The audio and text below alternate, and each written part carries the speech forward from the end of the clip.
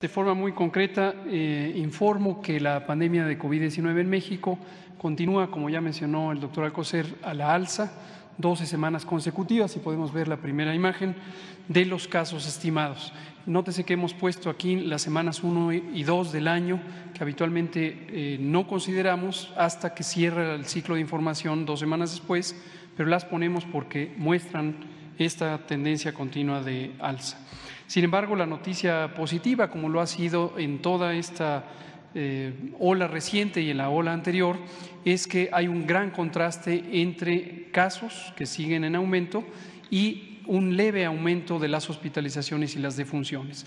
Una y otra vez explicamos que esto quiere decir el efecto positivo de la inmunidad, de la protección que brindan principalmente las vacunas y hacen que la enfermedad sea menos grave.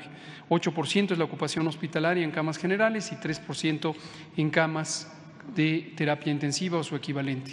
Y por último, las defunciones también se ve una eh, representación prácticamente mínima comparado con cualquiera de las olas previas y es el resultado igualmente del efecto positivo de la vacuna en la protección de las personas.